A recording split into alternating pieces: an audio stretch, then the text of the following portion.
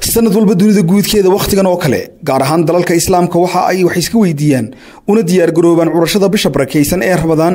iyadoo dadku arrimaha rabadaanta ka hadlaan. Wiigga ugu dambeeya bisha shacbaan sanad walba xarunta cilmi felaga iyo la socodka meerayaasha hawada sare waxa ay maanta oo axadaha soo saareen warbixin ay kaga hadlayaan in curashada bisha barakaysan ee ramadaan badiba dalalka islaamka ay ka bilaabmi doonto maalinta isniinta ee inagu soo aadan ee bishan mey ay tahay lixda. Sida ay ku sheegeen war-saxaafadeed ay maanta ka soo saareen xaruntooda. Maxamed cawda oo ah agaasimaha xarunta cilmi felaga oo warbaahinta la hadlayay maanta oo axada waxauu yidhi bisha shacbaan ee aan ku jirnaa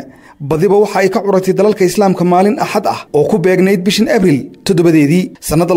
sagaaliyo toban. Sidaas darteed dalalka adduunka intooda badan bisha ramadaan ee sannadda kun afar boqol iyo afartan taariikhda hijrigu waxa ay filan doonaan maalinta ay dhammaato bisha shacbaan oo ku beegnaan doonta maalin axad ah oo bisha mey ay tahay shan. Sidaas darteed maalinta xigta ee isniineed ayay noqon doontaa maalinta koowaad ee bisha barakaysan ee ramadaan sannadda kun afar boqol iyo afartanka oo ku beegnaan doonta. Isniinta berri isniinteeda soo socota wiigga dambe oo ay bisha mey noqon doonto lix haddii alla idmo. Fiidnimada isniinta ee habeenkaasi ayaa la filan karaa oo ay ka soo muuqan kartaa badiba dalal badan oo dunida ah gaar ahaan dalalka islaamka bisha barakaysan ee ramadaan curashadeedu. Haddii ay hawadu saafi noqoto oo aan wax caad ahi ku jirin hawada waxaana lagu arki karaa isha caadiga ah ee qofka biniaadamka ah. Maxamed cawda oo hadalkiisa sii wataa waxau yidhi haddii alle ogolaado waxaa la filan karaa